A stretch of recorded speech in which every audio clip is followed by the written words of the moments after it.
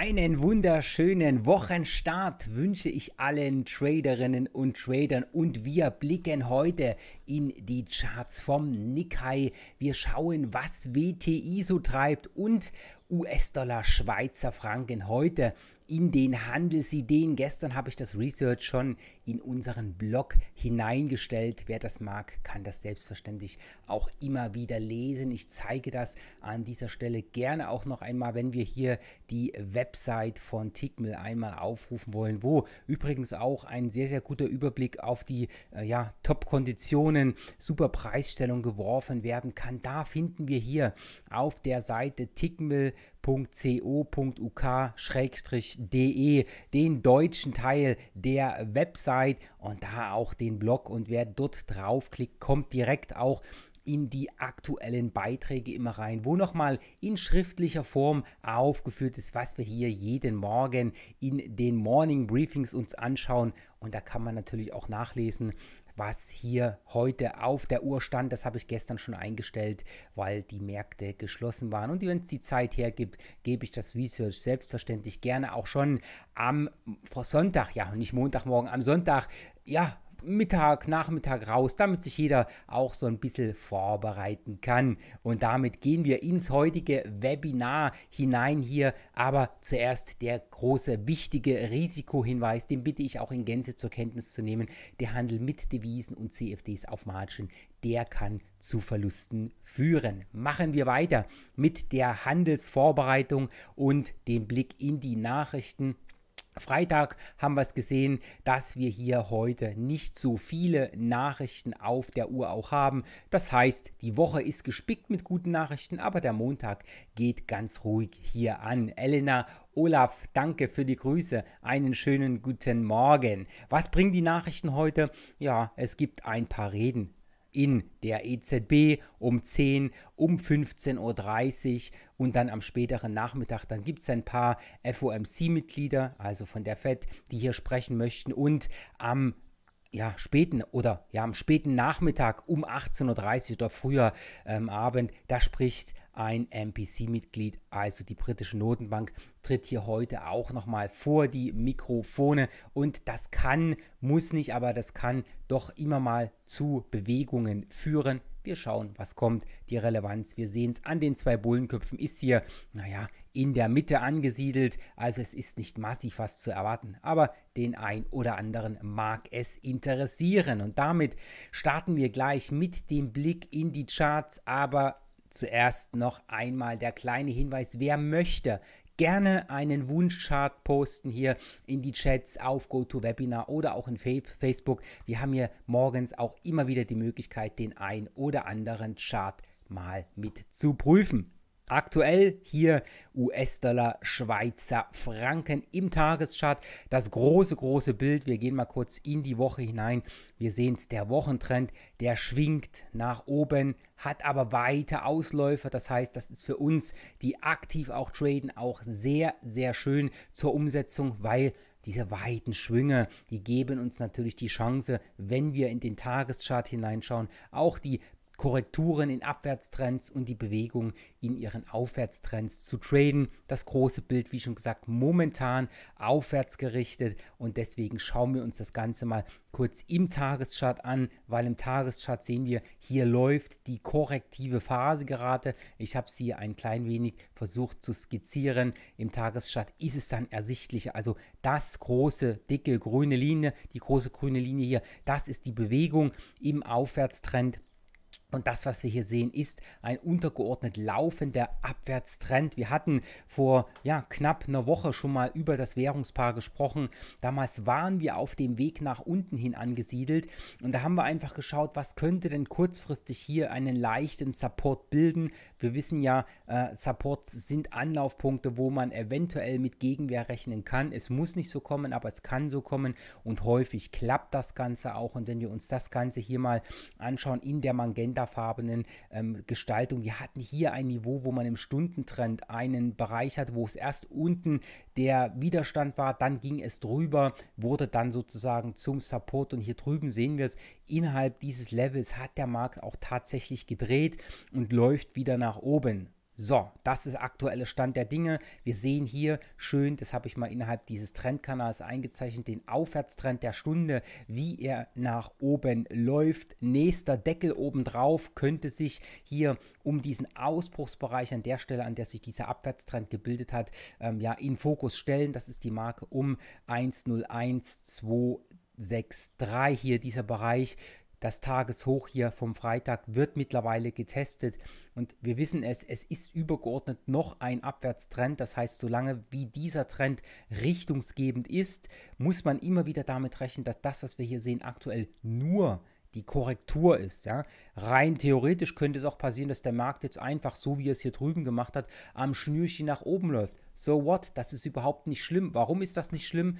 Ja, wir traden ja nur, wenn wir eine gute Signallage haben. Das heißt, das, was wir hier jetzt sehen, ist entsprechend mal die Basissituation und wir haben wie immer hier zwei Chancen. Nummer eins, der Weiterlauf nach oben. Wie schon gesagt, hier wird es interessant, was am kleinen Widerstand passiert. Wird der gebrochen, wäre dann der nächste Anlaufpunkt hier oben, dieses Hoch um die Marke von 101583.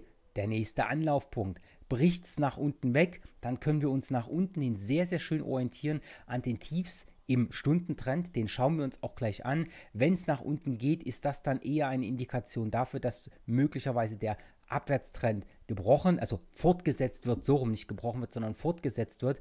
Und da wissen wir ja auch, wenn sich so ein Trend fortsetzt, dann läuft er auf alle Fälle mal hier unten drunter. Und da haben wir natürlich alle Chancen der Welt, von hier oben ein Stück weit nach unten mit zu traden. Wir müssen da nicht drauf spekulieren, dass es weit nach unten bricht, sondern wir schneiden uns einfach beispielsweise im aktiven Trading ein Stück der Bewegung ab. Anlaufpunkte hier sind die Swinglows im Aufwärtstrend der Stunde bei 1,00848 beziehungsweise hier bei 1,00734. Und ich habe es erwähnt, den Stundenchart und den blicken wir uns jetzt gleich auch mal im Chart etwas genauer an. Hier haben wir ihn drin laufen. Wir sehen es, dieser Trend, der läuft sehr, sehr schön nach oben. Heißt also hier an dieser Stelle, er läuft und läuft und läuft. Das ist der Trend hat hier einen Unterschwung gehabt, aber wir sehen es, das Ganze steigt nach oben immer weiter an und da ist es jetzt halt wichtig, was passiert hier oben. Ne? Kommt es hier zur Trendfortsetzung, haben wir hier dann unten das letzte Korrekturtief. Wenn der Markt hier drunter fällt, ist der Aufwärtstrend gebrochen.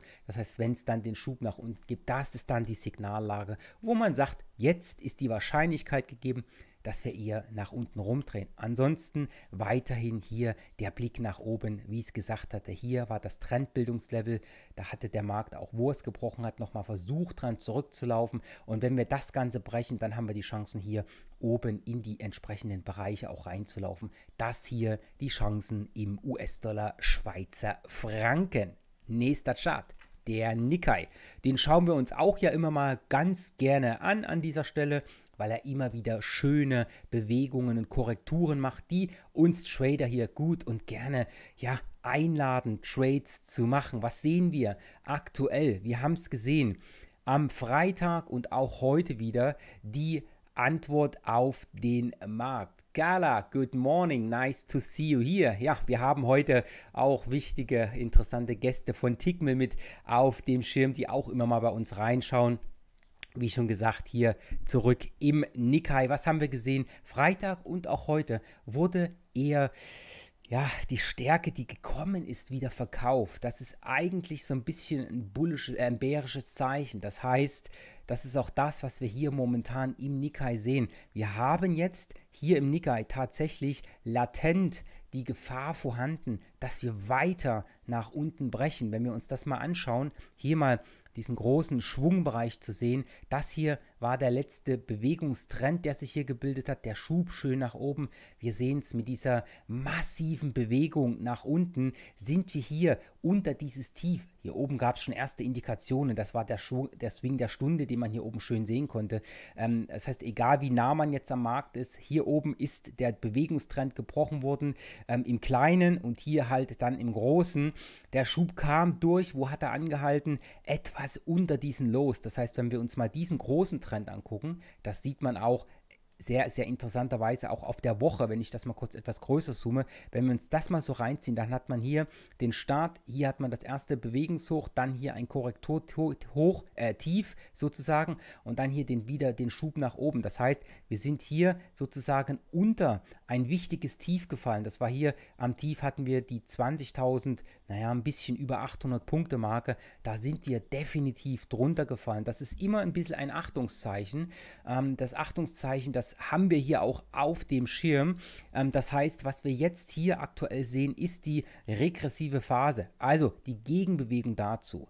Nächster Anlaufpunkt zur Oberseite, das sieht man dann im Stundentrend auch relativ gut, das ist die Marke hier oben um, die knapp 21.580 Punkte Marke.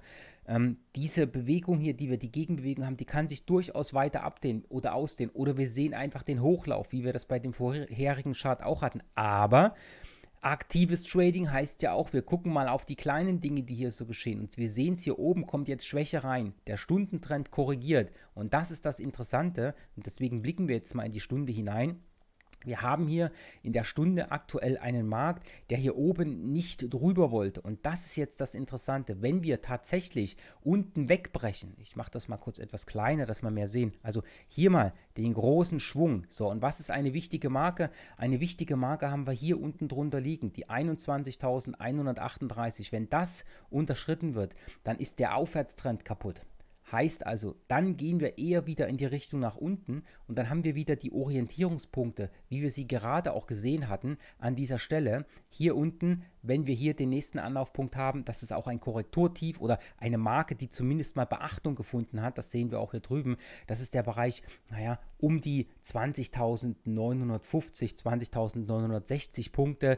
Ähm, hier haben wir dann ein weiteres Tief, was ein tatsächliches Korrekturtief gewesen ist im Stundentrend bei 20.878 und dann sind wir schon hier unten in diesem Bereich drinnen, wo wir das Tief haben, dieser starken Abwärtsbewegung, die den vorgehenden Trend gebrochen hat. Da ist also nach unten einiges an Potenzial da, aber genauso auch nach oben hin. Was heißt, was wir hier sehen, kann sich gut und gerne auch nach oben fortsetzen. Es ist ja nichts anderes als ein Dreieck, was wir hier momentan sehen, was ansteigt.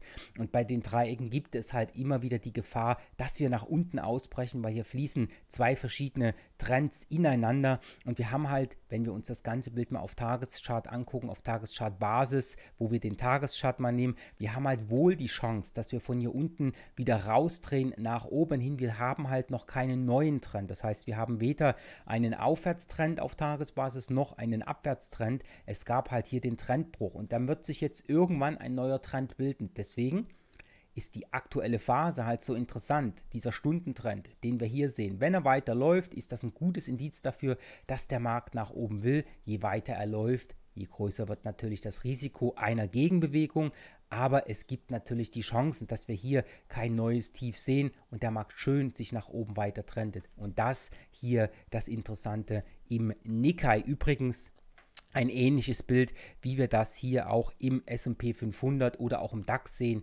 Wir sind hier schön gestiegen, wobei hier keine Trends gebrochen sind im S&P 500, aber auch hier hatten wir die dynamische Bewegung nach unten. Und jetzt sehen wir hier den Hochlauf nach oben, hier oben in diesem Bereich, ich sag mal ganz grob über den Daumen, 20, äh, 2900 Punkte im S&P 500, da liegt momentan oben irgendwie der Deckel drauf. Das sieht man auch gut im Stundenchart, den ich hier mal eingeblendet habe. Hier haben wir einen Bereich, da wollte der Markt nicht so richtig drüber. Hier haben wir auch schon den nächsten Widerstandsbereich äh, und das ist jetzt so ein bisschen das Zünglein an der Waage. Wenn man sich allerdings hier den reinen Stundentrend mal anschaut, der trendet nach oben. Der ist schön am oben nach, nach oben am Laufen. Wir hat hier ein Tief gemacht, reines Korrekturtief. Also da ist noch alles in Ordnung, auch wenn das auf der Tagesbasis am Freitag erstmal zu ein bisschen Gewinnmitnahmen kam. Hier ist die Tür weiter offen, wie schon gesagt, Zünglein an der Waage im kurzfristigen Bereich ist, was der Markt hier oben am Widerstand macht. Aber wenn wir hier einfach die Fortsetzung des Aufwärtstrends hier bekommen, warum soll der Markt dann nicht nach oben laufen? Dann haben wir die Chancen weiter offen auf der Oberseite und das kann man doch nutzen. Das ist genau das gleiche Bild, das wir aktuell im DAX auch mit sehen. Wir sehen es hier schön, der nach oben laufende Aufwärtstrend, den skizziere ich hier an dieser Stelle gleich mal. Also einfach sehr, sehr schön vom Tief durchgestartet. Als alle Angst hatten, hat der Markt da unten rumgedreht und hat gesagt, Leute, es ist nicht so schlimm, die Politik macht Politik, Börsen in der Politik Technik haben oftmals gute Beine. Zack, sind wir schön nach oben gelaufen. Und das, was wir jetzt hier sehen, ist einfach der schöne Stundentrend, der, wir blicken kurz in den Tag, nach diesem starken, starken Schub nach unten einfach trendig nach oben läuft. Das heißt, der Aufwärtstrend des Tages wurde hier unten wieder abgenommen. Hier sind es übrigens der letzte Short Trade, den wir im DAX gemacht haben, wo die Pfeile noch drinnen liegen. Und dann ging der Markt hier schön nach oben. Er trendet. Das ist das, was wir sehen wollen. Ob er bricht oder gleich nach oben läuft, I don't know. Wir werden sehen. Ist mir auch relativ egal. Wichtig ist, dass wir die richtigen Trends und die richtigen Setups finden und damit das Ganze mit traden können. Und damit Kurz vor neun geht's rein in den Handelstag. Ich wünsche allen einen grandiosen Montag, gute Trades und dann bis morgen. Den Blog gibt es wieder vor dem Webinar und um 8.30 Uhr sehen wir uns dann live an dieser Stelle. Also, tschüss und gute Trades.